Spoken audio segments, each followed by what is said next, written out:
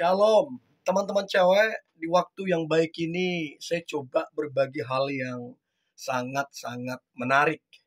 Saya kira ini kabar baik untukmu.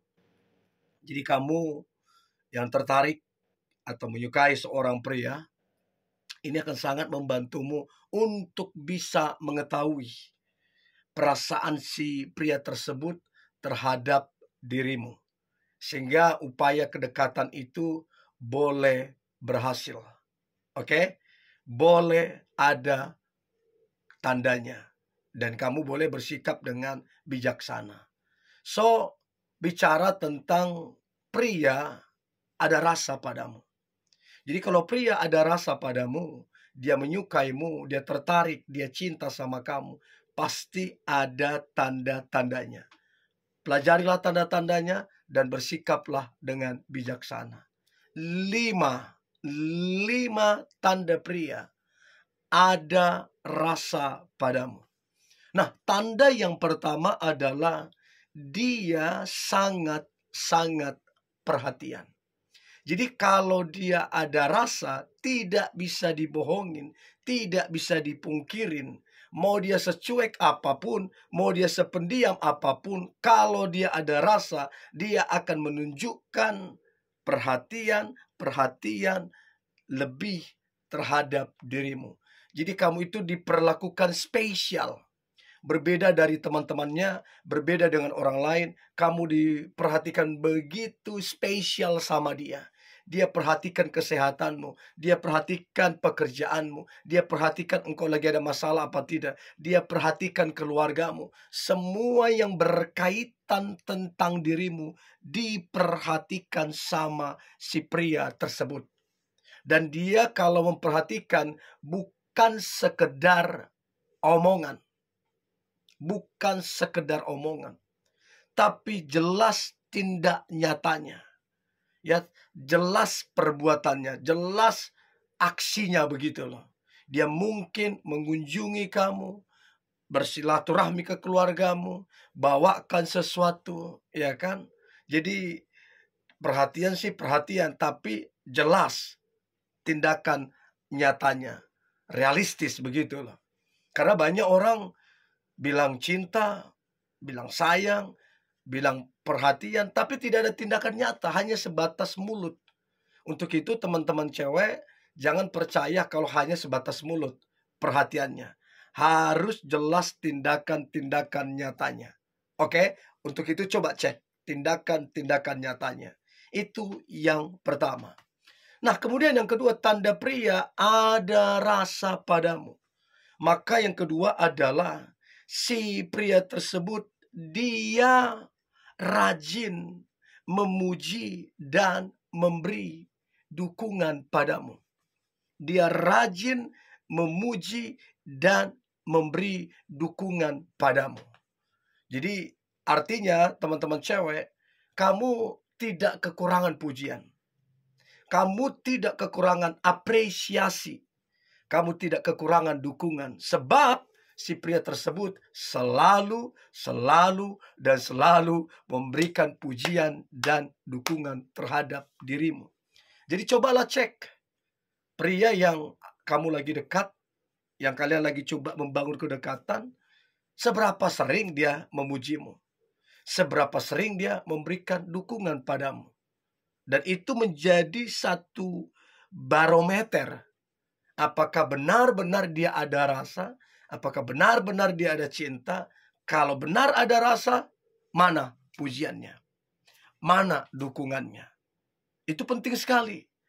Ya, jangan percaya, oh aku sibuk ya, gak bisa perhatiin. Sorry ya, aku sibuk ya, gak bisa memberikan dukungan. Omong kosong.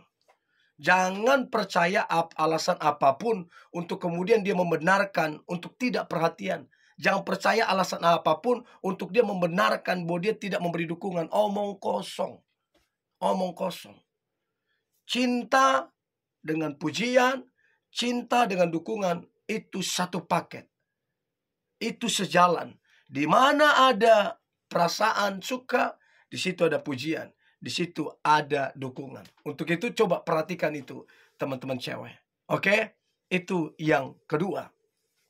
Nah, yang ketiga, tanda pria ada rasa padamu. Maka yang ketiga adalah si pria tersebut mau dia pendiam, mau dia super-super cuek orangnya, maka akan kelihatan sedikit banyak akan kelihatan rasa cemburu dia. Dia akan cemburu apabila kamu dekat dengan pria lain. Bukan berpacaran, bukan PDKT, tapi dekat dengan pria lain, mungkin berteman. Dia akan ada rasa cemburu. Atau kalau ada pria lain yang coba dekatin kamu, yang coba dekat sama kamu, yang coba berteman sama kamu, maka si pria ini akan cemburu. Nah, biasanya kalau orang cemburu kelihatan. Kelihatan orang cemburu. Dari mana kita tahu kalau dia cemburu? Tiba-tiba jadi pendiam. Gak ada masalah, gak ada angin, gak ada hujan, tiba-tiba dia diam. Tiba-tiba dia marah-marah gak jelas. Terus kemudian tiba-tiba dia singgung pria yang kamu lagi dekat ataupun yang coba deketin kamu padahal sebatas teman. Nah, dia singgung-singgung. Itu menandakan bahwa dia sedang cemburu sebenarnya. Itu menandakan bahwa dia punya perasaan sama kamu. Kalau nggak punya perasaan, kalau nggak cinta, dia masa bodoh. Dia nggak peduli, dia nggak dia nggak mau tahu. Kamu mau dekat dengan siapa, terserah. Siapa mau deketin kamu, terserah. Tapi kalau kemudian dia jadi kayak ngambek, diam seribu bahasa, ya terus kemudian marah-marah nggak jelas, ya singgung-singgung laki-laki yang coba deketin kamu, itu menandakan bahwa dia sedang cemburu.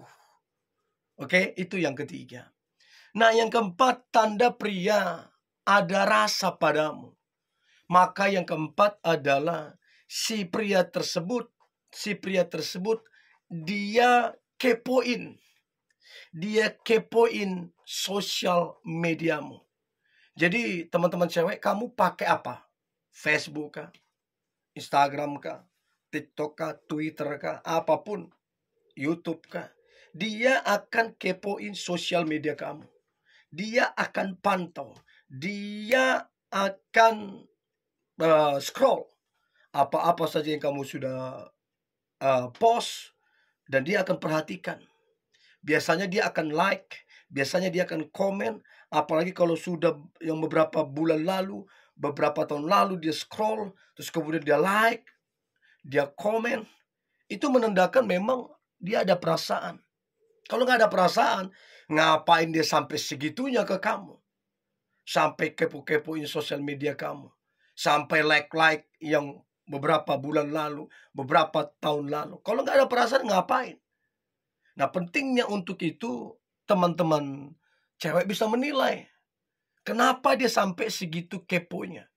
Kenapa sampai dia kayak spam begitu di sosial mediamu?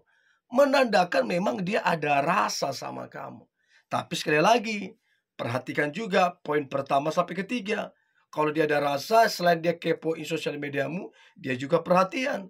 Dia juga memberi pujian. Dia juga cemburu. Jadi empat, empat poin itu harus bersama-sama ada itu. Ya. Jadi coba perhatikan itu. Itu yang keempat dia kepoin sosial mediamu. Nah, yang terakhir, tanda pria ada rasa padamu.